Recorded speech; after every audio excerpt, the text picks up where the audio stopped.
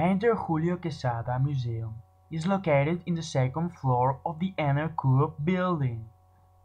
The museum is dedicated to foster son of Crevillent, Julio Quesada, considered as one of the best aquarellists of the twentieth century,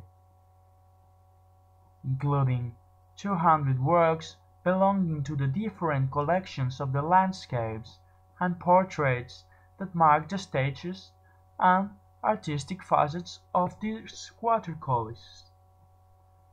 The gallery displays also other aquarellist paintings, such as the ones made by Rafael Requena the Fairy and the winning paintings of the international award Julio Quesada.